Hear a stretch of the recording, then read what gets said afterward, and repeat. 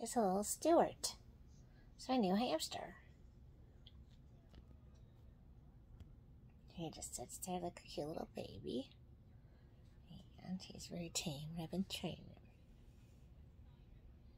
Been training him. He's very cute. Bye bye. Bye, Stuart.